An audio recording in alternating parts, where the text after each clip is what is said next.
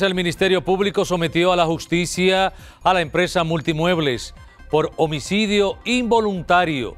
De su parte, el representante de la empresa asegura que no estaban realizando ninguna reconstrucción en el edificio. Nuestra compañera Indira Vázquez.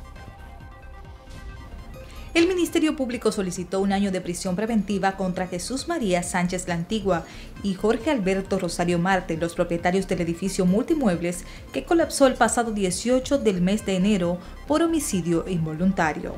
Luego del colapso del edificio se recuerda que resultó muerta Yaciris Joaquín de Jesús de 30 años de edad, mientras que otras tres jóvenes empleadas resultaron heridas.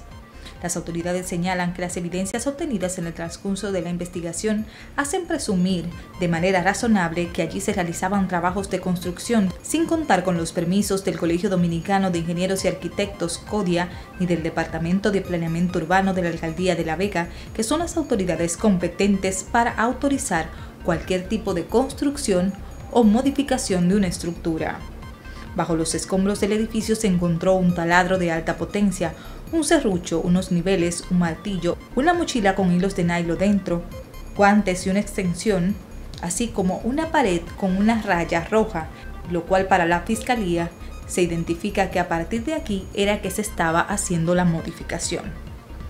De su parte, la magistrada Aura Luz García explica que las demoliciones y modificaciones, además de haber sido ejecutadas sin la autorización de los organismos previstos por la ley y los reglamentos, se realizaron con empleados dentro de la estructura, lo que provocó que al momento del colapso quedaran varias empleadas aplastadas entre los escombros. De su parte, el abogado del Multimuebles, Luis Félix, aseguró que no está comprometida la responsabilidad jurídica de sus representados y que estos presentarán ante el juez todas las evidencias para quedar en libertad. Dos cosas importantes. Lo primero es que no se estaba haciendo ninguna construcción. Lo segundo es que esa información que usted dice solamente ha sido teórica.